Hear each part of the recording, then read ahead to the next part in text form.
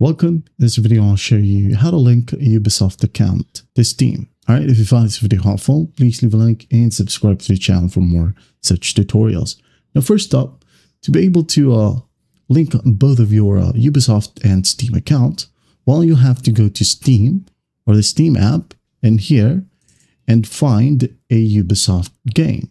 Okay, go ahead over to your library. Maybe you have um, Rainbow Six Siege or any other games from Ubisoft. Okay, right here. So just basically click on install and once done, go ahead and click on play, of course. And after that, just wait for a pop-up that will ask you to connect your Ubisoft account.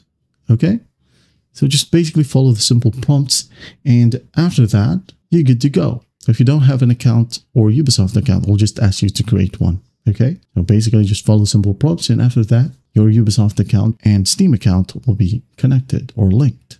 Again, just play any Ubisoft games from Steam and then once done, you're good to go.